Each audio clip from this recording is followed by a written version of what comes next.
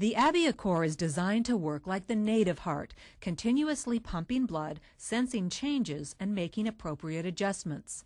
It is fully implantable and does not require penetration through the skin, as proprietary energy transfer technology allows the device to be recharged from outside the skin surface. The AbioCor is made of titanium and advanced forms of medical polymers. It contains two blood pumping chambers separated by an active self contained artificial septum, which converts electricity into fluid motion by means of a miniaturized rotary pump driven by an electric motor. The action from the septum results in blood pumping of the left and right blood chambers across artificial heart valves and supplying blood to the rest of the body.